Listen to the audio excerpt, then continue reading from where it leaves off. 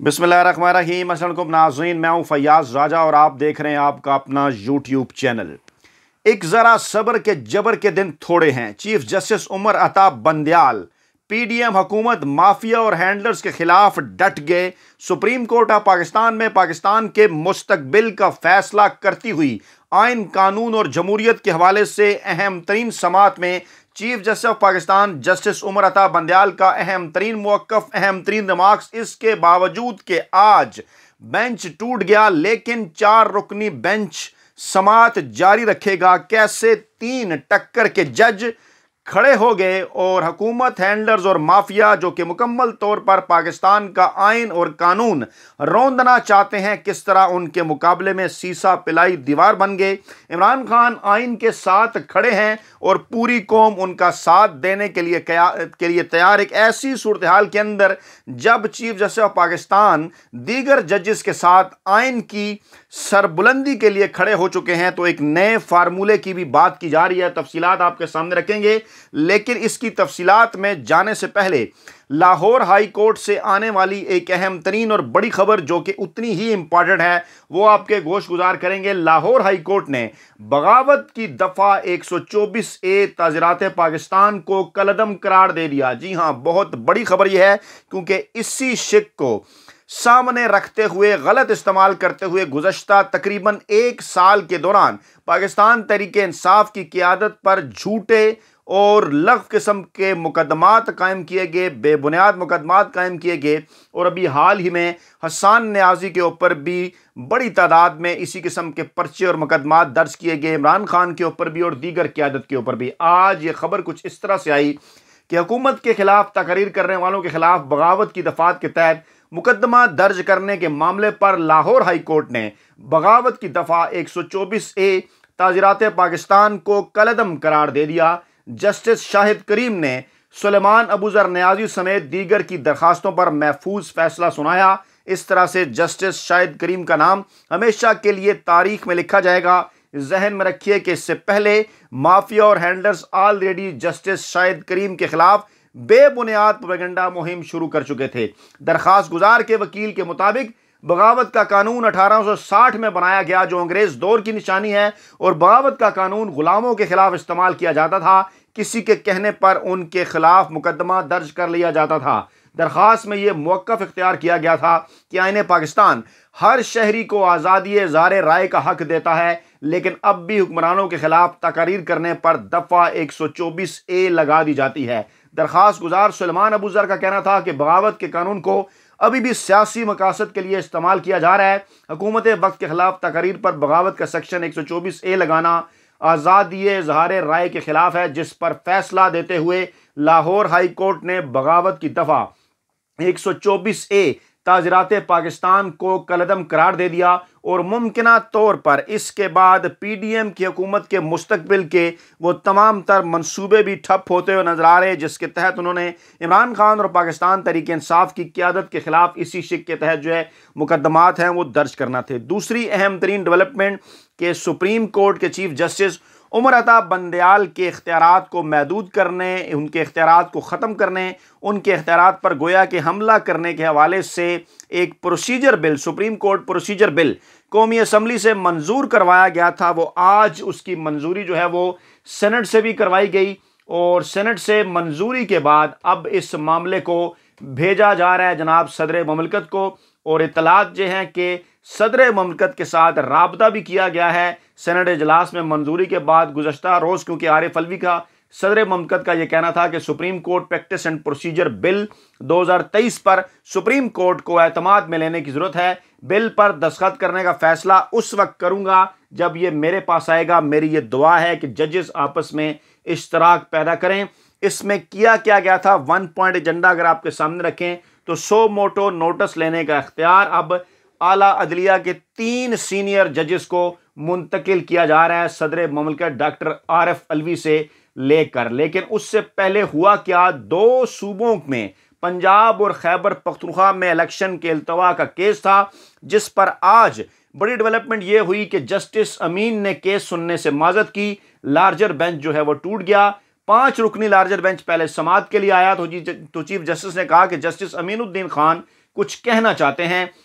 इस मौके पर जस्टिस अमीनुद्दीन ने केस सुनने से माजत कर ली। उन्होंने गुजशत रोज़ के जो फैसला था जस्टिस काजी फायज ईसा का, उसके तनाजुर में ये सुनने से माजत की। उन्होंने कहा कि जस्टिस काजी फायज ईसा के फैसले के तनाजुर में मैं केस सुनने से माजत करता हूँ, जिसके बाद उनके इस माजत के बाद बेंच जो है वो टूट गया, कोर्ट रूम से चला गया और माजत करने के बाद ये बेंच तहरील हो गया।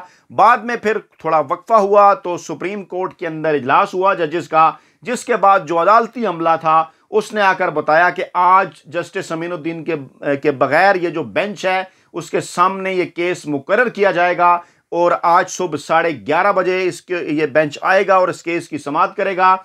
और इसकी समात आज होगी तकरीबन साढ़े ग्यारह बजे और चार रुकनी बेंच होगा ये, जिसमें अब जस्टिस अमीनुद्दीन जो है वो शामिल नहीं होंगे। आपको याद होगा कि इससे पहले मैंने अपने एक ट्वीट में और इसी प्लेटफॉर्म पर जब आपके सामने सुप्रीम कोर्ट ऑफ़ पाकिस्तान के जजेस के मुख्तलिफ़ सेट जो हैं वो आपके सामने रखे थे, जिसमें मैंने ये बताने की कोशिश की थी कि इस वक्त जो सुप्रीम कोर्ट ऑफ़ पाकिस्तान के अंदर जो तकसीम नज़र आती है, उसमें कौन से जज जो हैं वो कहाँ खड़े हुए हैं? तो आज ये मेरे लिए भी सरप्राइज़ था। जस्टिस अमीनुद्दीन का ये फैसला, इसके ऊपर बात करते हैं आगे चलकर भी, क्योंकि सुप्रीम कोर्ट के अंदर हैं जनाब, इस वक्त पंद्रह जो है वो सीनियर जज साहिबान हैं और जो सेट ए मैंने आपके पंद्रह जो है वो कुल जज साहिबान है, सत्रह जजेस होने चाहिए और दो जो हैं वो मौजूद नहीं हैं, उनकी जो सीट है वो खाली है। सत्रह की बजाय पंद्रह जजेस हैं। सेट ए के अंदर मैंने जस्टिस उमर अता बंदयाल साहब को रखा था, justice Ijazul Hassan, justice Munib Akhtar, justice Mazhar Naqvi Muzahir Naqvi, justice Mohammad Ali Mazhar और सात जस्टिस अमीनुद्दीन।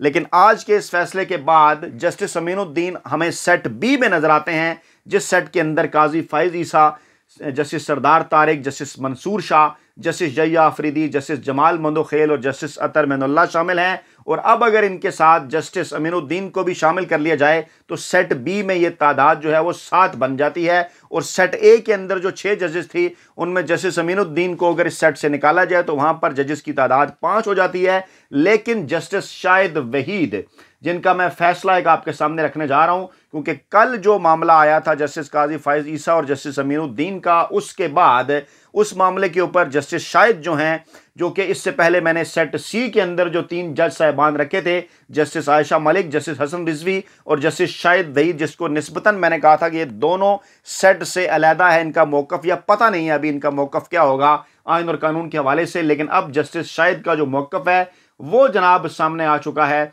और जस्टिस शायद का क्योंकि इख्तलाफी नोट भी सामने आया था, जिसमें पाँच सफ़ात पर मुश्तमिल उनके नोट में यह कहा गया कि बेंचिस तश्कील देना चीफ जस्टिस का इंतज़ामी इख्तियार है और सुप्रीम कोर्ट आज खुद नोटिस नंबर दो, चार दो हज़ार बाईस में यह करार दे चुका है। नंबर भी उन्होंने बताया, केस का हवाला भी दिया, उन्होंने कहा कि करार दिया जा चुका है कि चीफ जस्टिस ही बेंच बनाने का अख्तियार रखते हैं। जजेस बेंच की तश्कील पर एतराज़ नहीं उठा सकते। अगर जजेस को बेंच की तश्कील पर एतराज़ था तो वो केस सुनने से माजत कर सकते थे। जस्टिस शाहिद वहीद ने कहा कि वो जस्टिस काजी फायजी शाह और जस्टिस अमीनुद्दीन के फैसले से इतफाक नहीं करते। अस खुद नोटिस में वो बातें जेर बहस लाई गई, जो हमारे सामने ही नहीं थी, जो इस केस का हिस्सा ही नहीं थी। और जस्टिस शाहिद वहीद के खिलाफी नोट में कहा गया कि 20 इजाफी नंबर देने पर अटार्नी जनरल और Pakistan medical and dental commission PMDC जवाब जमा कराएँ। ये केस था वहाँ पर जनाब अफाज कुरान को 20 नंबर देने का जबकि इस मामले का रुख मोड़ दिया जस्टिस काजी फाइज ईसा और जस्टिस अमीनुद्दीन के फैसले में। अब जस्टिस शाहिद के इस इख्तलाफी नोट के बाद उनको अगर सेट ए के अंदर शुमार कर लिया जाए तो वहाँ पर जजेस की तादाद हो जाती है जनाब छः सेट बी के अंदर हो जाती है जजेस की तादाद सात, जो कि जस्टिस काजी फाइज ईसा के साथ अलाइन है। छः जजेस जस्टिस उमरता बंदयाल समेत उनके साथ अलाइन है, और बाकी जो दो जज साहिबान हैं, उनमें जस्टिस आयशा मलिक हैं और जस्टिस हसन रिजवी हैं। जराए का यह दावा है कि खातून चीफ जस्टिस पाकिस्तान की तारीख की पहली माफ़ कीजिएगा मुस्तबिल की, पाकिस्तान की तारीख की मुस्तबिल की पहली चीफ जस्टिस और हाल की सुप्रीम कोर्ट ऑफ़ पाकिस्तान के अंदर, पाकिस्तान की जो पहली जज हैं, जस्टिस आयशा मलिक, उनका वोट आगे चलकर इंतहाई अहम करार दिया जा सकता है अगर ये मामला जाता है फुल कोर्ट के अंदर। लेकिन फुल कोर्ट के मामले की तरफ़ जाने से पहले इमरान खान का अहम तरीन बयान और अहम तरीन ट्वीट जो है वो मैं आपके सामने रखना चाहता हूँ, क्योंकि आज जो इमरान खान ने स्टेटमेंट दी, इमरान खान का जो बयान आया, जो ट्वीट आया, वो इंतहाई अहम आइन और कानून के हवाले से मैंने भी इससे मिलता जुलता एक ट्वीट किया, वो भी मैं आपके सामने रखता हूँ।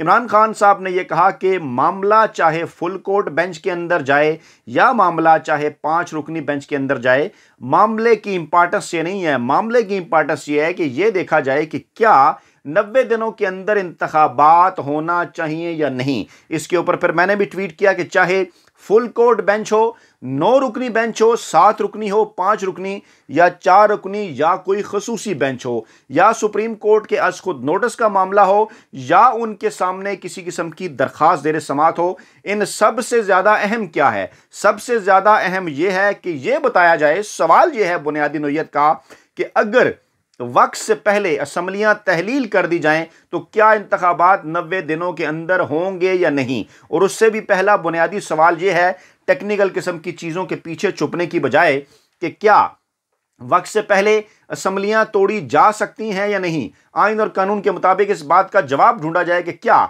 आइन और कानून के तहत वक्त से पहले पाँच साल की मुद्दत जो आइन ने दी, उसी आइन ने यही कहा कि वक्त से पहले असम्बलियाँ तोड़ी जा सकती हैं। यही बात चीफ जस्टिस उमरता बंदयाल साहब ने भी की। तो सवाल यह है कि क्या इमरान खान ने ये जो असम्बलियाँ पंजाब और खैबर पख्तनख्वा की वक्त से पहले तहलील की, उनके वज्र आला ने, क्या ये आइन और कानून के मुताबिक है? अगर आपके ख्याल में ये आइन और कानून के मुताबिक है तो इसके खिलाफ कोई असखुद नोटिस क्यों नहीं हुआ? इसके खिलाफ कोई दरख्वास्त क्यों नहीं आई? ये मामला सुप्रीम कोर्ट या हाई कोर्ट के अंदर क्यों नहीं गया?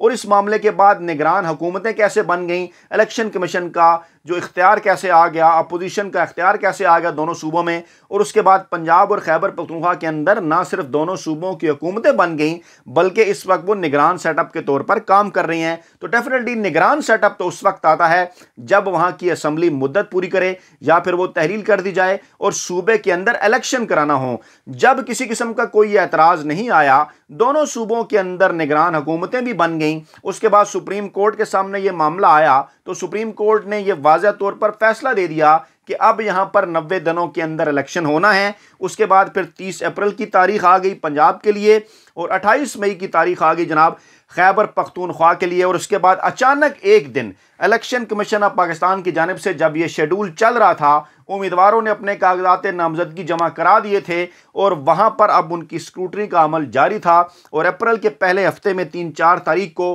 उम्मीदवारों की हतमी फहरिस्त सामने आ जाना थी।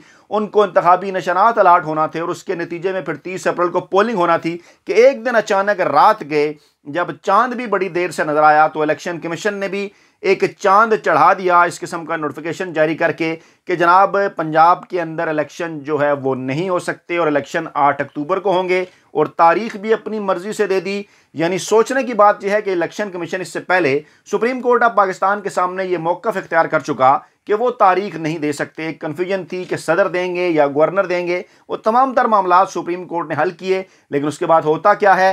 इलेक्शन कमीशन इस पी डी एम हुकूमत का आलाकार बनकर अब एक ऐसी तारीख दे देता है, जो तारीख इस पी डी एम हुकूमत की ख्वाहिश है, लेकिन ना ही वो गवर्नर पंजाब की जानब से सामने आती है, ना ही वो सदर ममलकत की जानब से सामने आती है, बल्कि वो सी टी बी टी होती है, पाकिस्तान की वफाकी हुकूमत पी डी एम माफिया के साथ और इलेक्शन कमीशन, और वाज तौर पर यह नज़र आता है कि उनको इसके पीछे हैंडर्स की सपोर्ट भी हासिल है, जिनकी जानब से ये कहा जा चुका कि जनाब हम इस आइंदा इलेक्शन के लिए जो पंजाब और के पी में आइन और कानून के मुताबिक तीस अप्रैल और मई के महीने में होने जा रहे हैं। उसके लिए किसी किस्म की जो सिक्योरिटी है, वो नहीं दे सकते। अब ये मामला है बड़ा खुल के, और अब इस मामले के ऊपर जो केस की समात है, वो चल रही थी, और इसकी समात के दौरान ही जिस किस्म का रवैया पी डी एम हुकूमत और माफिया की जानब से इख्तियार किया गया और एक फौरी तौर पर एक कानून साजी रातों रात शुरू कर दी गई।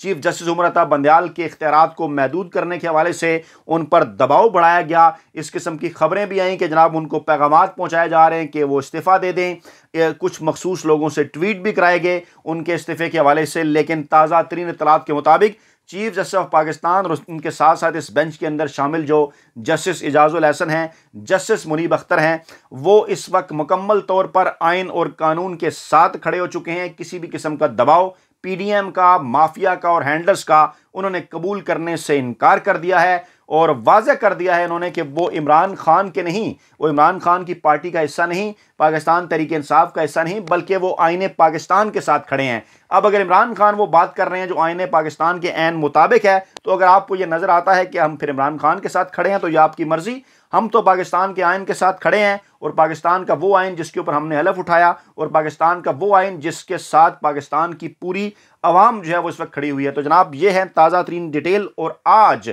अहम तरीन एक्सपेक्टेशन है। इस सुप्रीम कोर्ट ऑफ़ पाकिस्तान के चार रुकनी बेंच से और इसके फैसले के नतीजे में पाकिस्तान में मुस्तबिल में आयन जमहूरियत और इस हवाले से फैसले होंगे, नए इलेक्शन के हवाले से फैसले होंगे, जो कि बिलाशुबा आयन कानून और जमहूरियत के मुताबिक हुए। तो बहुत जल्द आपको मामला नए आम इंतबात की तरफ़ जाते हुए नज़र आएँगे, जिसके नतीजे में इमरान खान दो तिहाई अक्सत के साथ पाकिस्तान के नए वजी अजम बन के सामने आएँगे। अपना बहुत ख्याल रखिएगा दो में याद रखिएगा। नई वीडियो के साथ जल्द हाजिर होंगे। अल्लाह ने के मान